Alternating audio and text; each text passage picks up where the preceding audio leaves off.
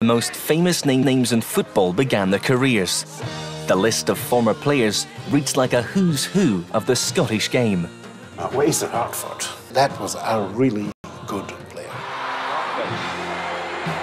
Nicely played. And in it goes, Asa Hartford. He was brilliant. He, he could play today.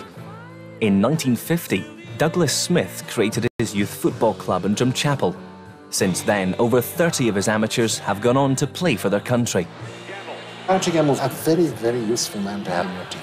Good play by Gemmill, and again, 3-1! Small, wiry, very hard-working.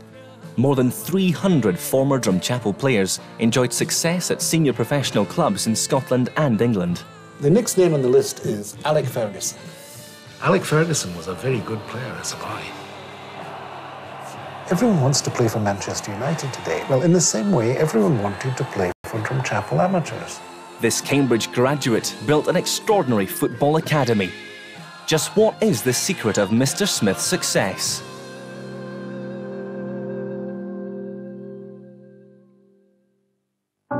Probably as good as you would get in terms of an amateur football club. It was almost like being professional. The standard of excellence that Douglas wanted, the standard of discipline he wanted, and the expectations were as great at Drumchapel as a young player than they have been at any of these big clubs I've been at. Nowadays, there's all sorts of money splashed about for young kids. There's nothing like that. It was just the opportunity to get that chance to play, and I grabbed it. And even at that time, I mean, they were well known, you know, throughout the west of Scotland for uh, being one of the best amateur sides, if not the best amateur side. So it was uh, a privilege, you know. I was chuffed to bits to be asked to go along and train with them. When you played for a drum in the Glasgow area at that particular time, you were a somebody. Everybody knew about Drumchapel solely because they were they were the kingpins, and everybody at any level, from 16, 15, 16, 17, 18, were actually would love to have played for Drumchapel. My dad ran one of the teams for as long as I can remember, going to watch him manage the teams really from a very, very early age. And it played a big part in everybody's lives at, at that period, especially myself. A lot of my friends played for them, and uh, you know, it was a talking point all, all through the week.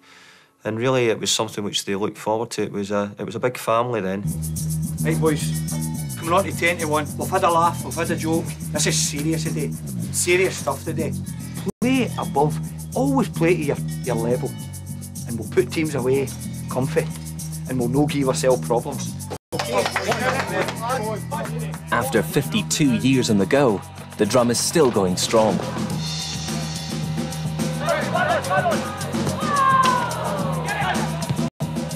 Despite delegating managerial responsibilities, Douglas Smith continues to run the club from the sidelines at 75 years of age.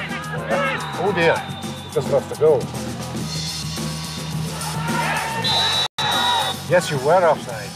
There's no longer any youth football, but the current squad are defending champions of the Caledonian League, the best senior amateur league in the country. It's a far cry from the club's humble beginnings as a boys' brigade team. In the 1950s, teenagers were invited to join a variety of boys' clubs whose aim was to turn sweaty adolescents into men.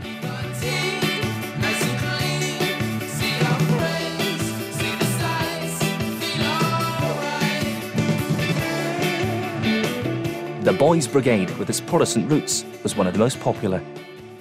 We started life as a boys' brigade team, pure and simple. We were a very good boys' brigade team. When I took the team over, it was the older boys that were playing, and they, they were as bad of players as I was. They were, they were all haddies. But we discovered that down among the younger players, we had some very good players. And so we built our uh, new team, the team that I was to be responsible for, on these younger players. And it was really only four or five years into our career when we first won the Scottish Amateur Cup, under 16. And we, we never looked back. Football teams didn't wear strips in these days. What they arranged was that one, one of the two teams would play in just white shirts and the other would play in coloured shirts. And that's how we worked. And then, out of the blue, we got the offer of a set of second-hand shirts from Singer Sewing Machines. They were pretty horrible. They were green and white quarters, but at least they were all the same. We suggested to the boys that they all get white pants, and if they were ever buying football socks, they should buy green and white hooped socks. And then, very shortly, clothes went off coupons, and we were able to go out and buy a set of jerseys. Boys all have green and white hooped socks, white pants. So what do you do? You buy green and white hooped jerseys. And there will be practically probably the only boys brigade team for miles around playing in Celtic strips. We didn't have to change very often. But by the end of the 50s, Glasgow was changing. The new Drumchapel housing estate on the edge of the city was to provide the team with an invaluable source of talent. When Douglas heard about a promising new player, the race was on to reach him before the opposition. So I jumped in my car and I drove up to St George's Road. Now, Drumchapel by this time was a huge new housing scheme. It's like looking for a needle in a haystack. Nobody's going to know. However, I stopped at the first boy of about 14 that I saw and asked him if he knew Eddie McCreadie. He said, yes, he lived just up there at 26. And I went up, I knocked on the door, Eddie came to the door, I said, I'd like to come and play for Drumchapel Amateurs. Bang, that was it. Uh, and we had Eddie McCreadie for the next four years. Uh, great player. Uh, and uh, when he left us, it was to join East Stirling, and then from there on to Chelsea and Scotland. Football is the game most passionately pursued in Scotland. All the youngsters need is a stretch of vacant ground, four jackets for goalposts, and the game is on. There were hundreds of amateur teams playing football in Glasgow by the late 1950s. But only the Drum was winning leagues and cup finals on a consistent basis. It was all down to Mr. Smith's professional approach.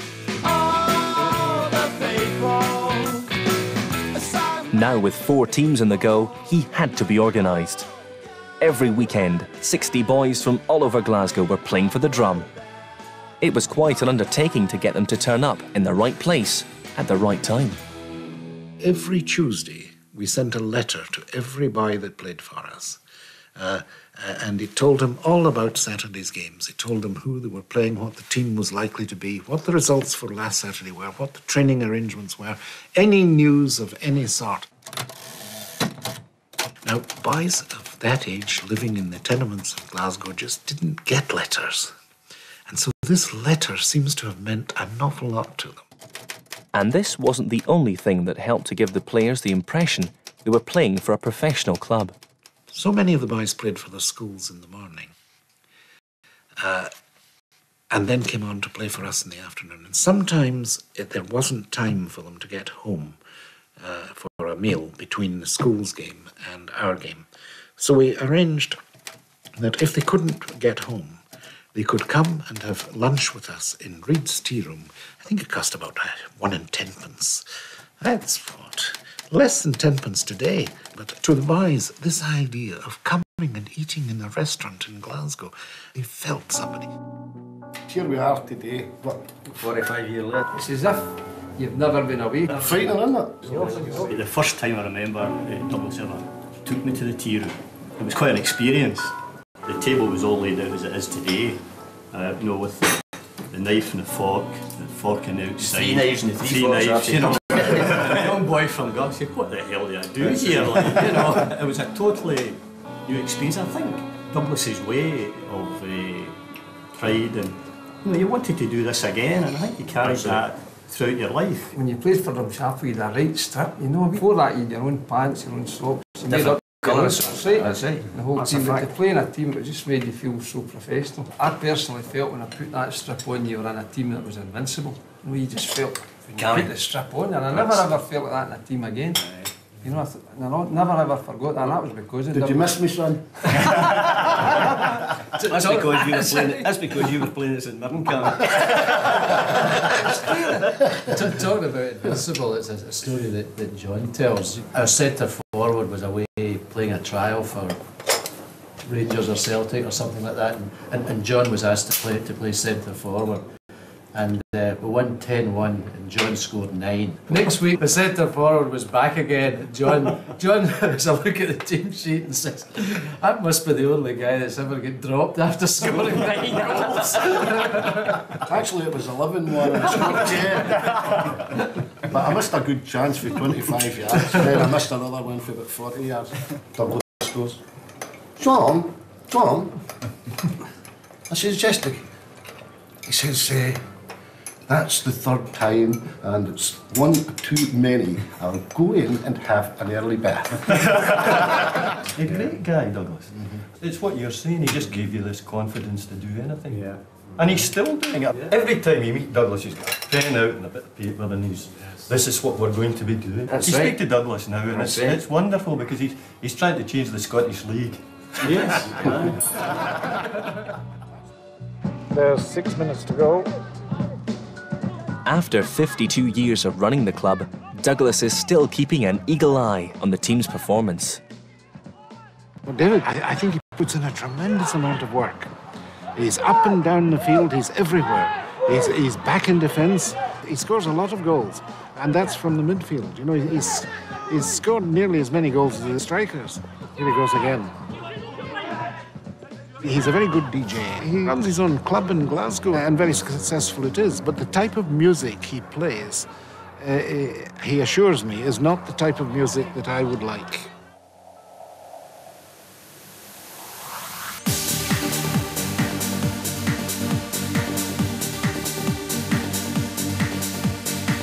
The team spirit at the drum is very strong. We have our fallouts at training and on the park on Saturday, you know, but off the park we can always have a laugh about it. Up the club having a beer, you know, but I mean the spirit at the drum's fantastic. It has been for the last few seasons. Oh! Oh! We've obviously Charlie, the gaffer. Give me, hurry up, give me another 10. We've got Colin upstairs, Colin's the barman. You've got George, who's a, oh, the kit man, takes care of the kit. And Jimmy, he takes care of the tea, the food, biscuits, and uh, obviously Douglas is uh, the head honcho, he's the chief. And you know, we were so careless tonight. There were so many stupid, stupid mistakes. I think they'll respect him and see him as a, not a father figure, but they see him as the drum. You know, when, when they think of the drum, you just think of Douglas. Right from the start, Douglas devoted himself to the club. He spent his working week as a managing director at Arnott Young's, one of the biggest shipbreaking companies on the Clyde. But his spiritual home wasn't so much the boardroom as the dressing room. In spite of his status and his business position, he worked with the boys just as he worked with the Boys Brigade Company. He was part of them. They, they looked upon him as someone that they could approach. It was a, a happy family. That's how I would describe it. A very warm man, and a man that you could see had a great passion for the game. Talking about a guy that had principles and standards that he expected you to live up to, not only in the playing side, and the fact that you were attached to the drum. Drumchapel Amateurs, by the very nature of the way that it was set up by Douglas Smith, almost had a bit of a mystique about it as well. And I think that was part of the romance of the whole thing with Drumchapel. I think they gave you an education, which you know, uh, I think, and I hope I do at my football clubs. They wanted you to be a good man first and foremost. You know, they wanted your language to be good. You know, they wanted you to dress smart. Then all these boys from Drumchapel Amateurs turned up with blazers and ties, and when they took to the park, they all had tracksuits on with the club colours and Drumchapel Amateurs on the back, and it was, it was like you were playing Real Madrid. And they always went with two or three different sets of strips, and always made sure the boys had new bags and, and went there with a new club tie. And you know, that those days that was really important, and uh, it still is in football today because what it is is discipline, organisation, and uh, and really giving the players a, a sense of belonging. Really. I think Douglas had a grand plan, and you know, as young lads at that time, we weren't aware. We just wanted to play football, but but Douglas wanted to give you an education, and that education stretched beyond Scotland. And and he, the way he would see it was the only way you could test yourself and learn was to play against the best, not only in this country but in other countries. In 1960, Scottish teams were playing at the very highest level in Europe. And with half a minute to go, he makes it Fiorentina 2, Rangers nil. In the same year, Douglas was sent an invitation to play in an international youth tournament in Dusseldorf. That particular night that we were leaving for the first trip, Douglas knew myself and Jim Forrest, who were on the trip, would be at Ibrox, obviously, to see the boys. But the last thing was make sure you're at Central Station at time. When we came out of Ibrox, we knew it was going to be a rush to get to the Central Station. It was only by chance that we get pushed through for the, the guy who was in underground saying, right, you do, lad, you, you're not going to be with the drum tonight. Aye, well, hey, on you go. So, of course, we got to be about 10 minutes to spare and everybody was at the station, mums and dads and oh, everybody had turned out. This was their first trip abroad for most of us. And when we, we actually left that particular night, none of us could sleep because you can imagine it was excitement from start to finish, but we couldn't, we couldn't wait to get there.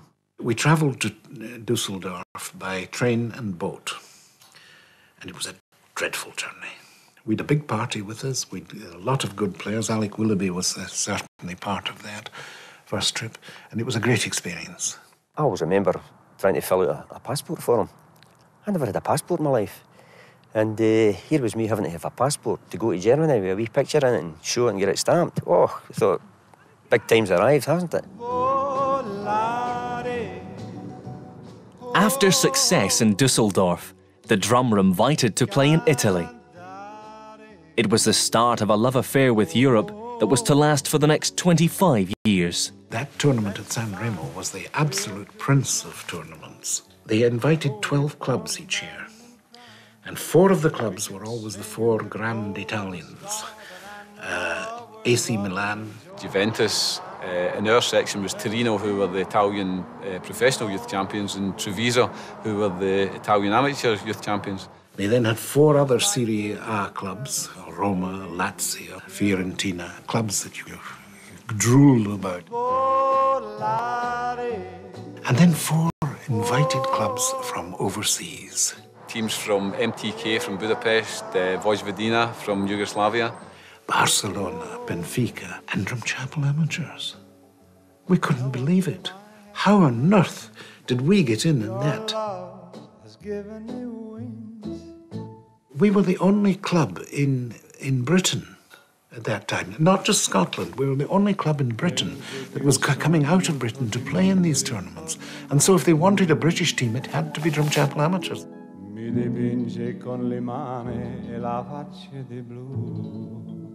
People like myself couldn't actually eat the food. We had a bag full of foodstuffs. Boys were knocking my door for a tin of corned beef and spam and all that, and, and, and that sounds ridiculous to say, but at that initial time, things like pastas were way, long way away, you know. And I don't know if you play better than pasta anyway. The drum went on to play in tournaments all over Europe. Their success didn't go unnoticed at home.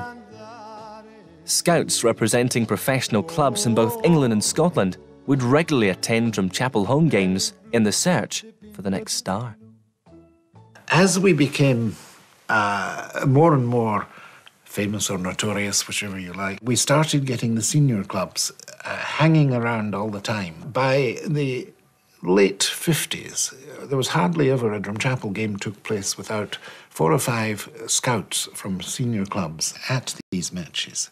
Boys then began to realise that if they played for Drumchapel amateurs, they would be seen. I knew that it would be a step in the right direction. Playing for Drumchapel amateurs, uh, you know, you would be hoping to be uh, spotted by by somebody because of that, you know, such a, a top side. When you went on the park to face Drumchapel amateurs, the team game went out the window. You were interested in your own performance in the hope that you would be noticed, that you'd perform well, in the hope that the following week somebody would come and knock on your door and say to your dad, Fancied the look of your boy, is there any chance that you might want to come and play for us?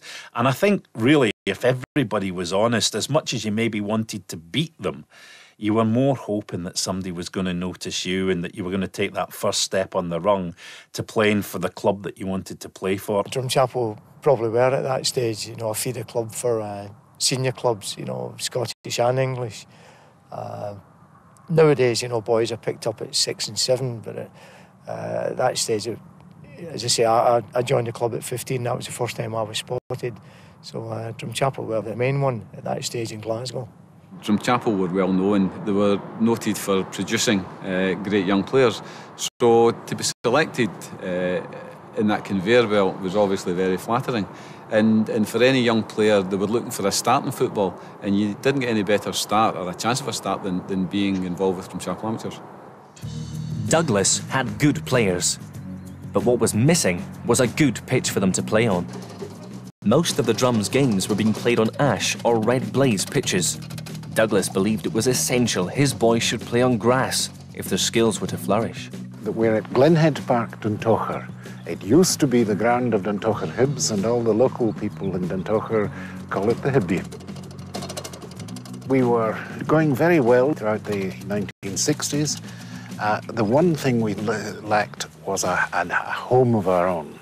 We, we hunted all over Glasgow to try and find a ground. We made offers for various bits of ground, and then suddenly, this ground, the ground of Duntocher Hibs, we discovered it was up for sale in the local Clydebank paper. So we now had the immediate job of finding a thousand pounds in three months.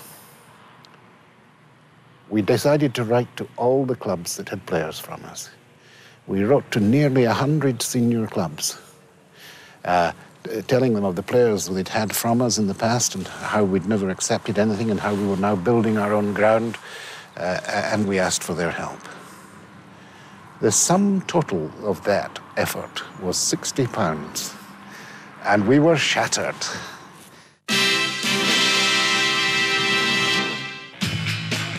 Douglas was forced to try a more direct approach. So I phoned up Scot Symon of Rangers, and I went up to see him in that grand manager's room at Ibrox, and I sat across the desk from him, and I felt very, very nervous. And I was so nervous that instead of asking him for two and a half thousand, I asked him for three thousand. And he simply said, Yes, certainly. I couldn't believe what I was saying. I said, Mr. Symon, I have just asked if Rangers will give us £3,000 and you've said yes. He said, Yes, yes, certainly. This was great. He went further. He said, You can also have uh, the Albion training ground as your, as your home ground. You can play your matches there. I said, But Mr. Symon, you do realize what colours we play in? Uh, he smiled. Yes, I'd forgotten that. Uh, I'll tell you what, we'll give you a set of strips to wear. I said, no, thank you. We, we're used to playing in the green and white, and I think we'd better decline the, the use of the Albion. Everyone wanted to, to, to get in round about the club so that they get the first pick on, on players. Uh, Douglas never allowed that to happen because the one thing he did, he wanted his independence. He did not want any team to, to control Drumchapel Amateurs. He controlled it, and the players got a, a, an option of where they wanted to go and weren't led down uh, to one particular club.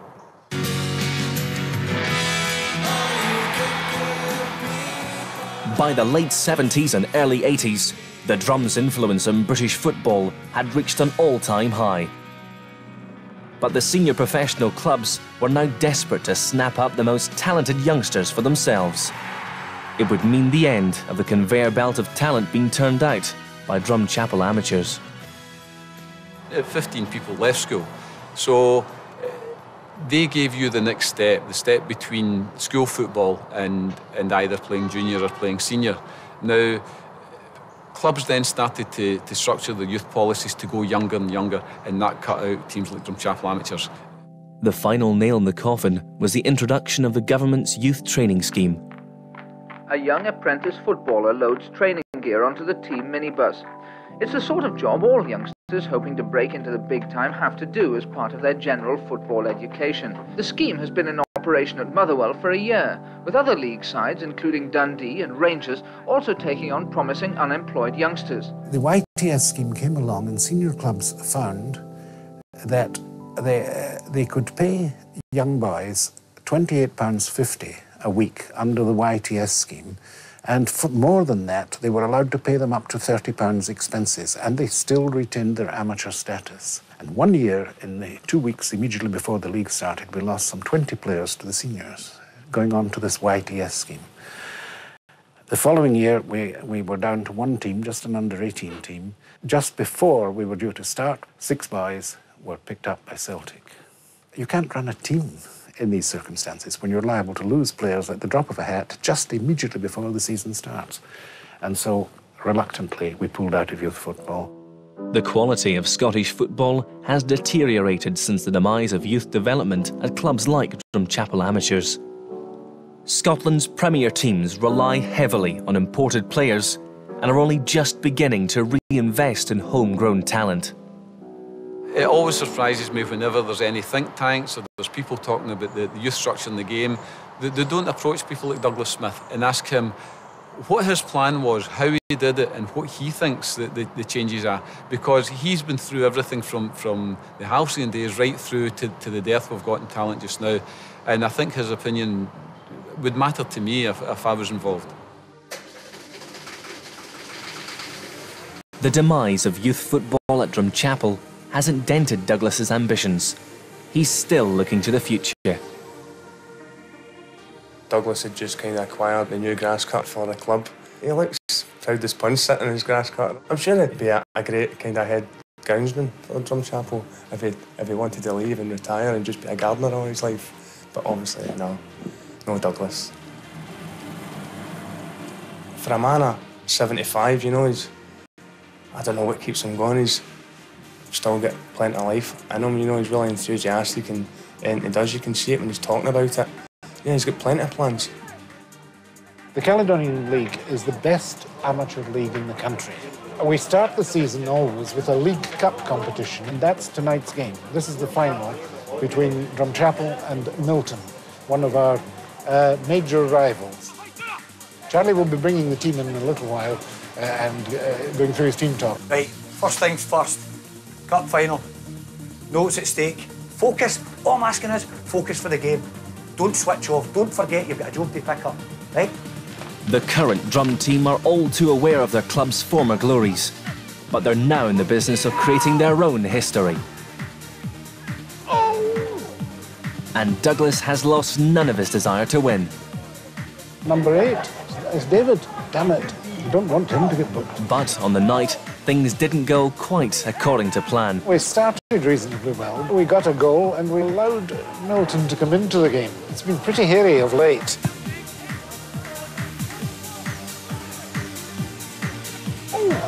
Go and meet the ball! Despite Charlie the manager's rousing pre-match team talk, the drums' performance went downhill.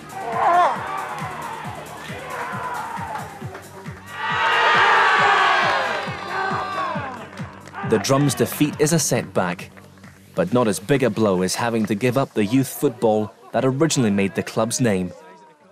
It's very disappointing because when you when you have a youth team and you've got all these very very good young players that you see uh, uh, uh, around the dressing room here, uh, it's exciting to be part of. It's exciting to watch them developing and coming on, and uh, it's exciting to watch their future careers.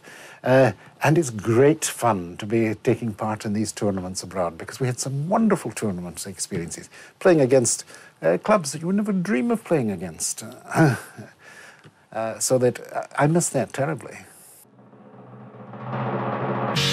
Roma 2, Drumchapel nil. Drumchapel 2, AC Milan 2. Uh, the second time we were out, Uh, Juventus uh, 1, Drumchapel 1. Drumchapel 2, Sporting Club Vienna 1. Next time we were out, Drumchapel nil, AC Milan 2. Drumchapel nil, Barcelona 1. Bad one.